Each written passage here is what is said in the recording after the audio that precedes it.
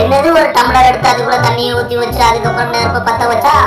தண்ணீர் வரைக்கும் தான் எரியுமா? ட்ரை பண்ணி பாப்போமா வணக்கம். நான் தான் உங்க குட்டி எக்ஸ்பெரிமெண்ட் பண்ண வந்திருக்கேன். வாங்க அதுக்குள்ள தண்ணி தாவ எடுத்துருச்சு. ஐயோ உப்பு தண்ணி.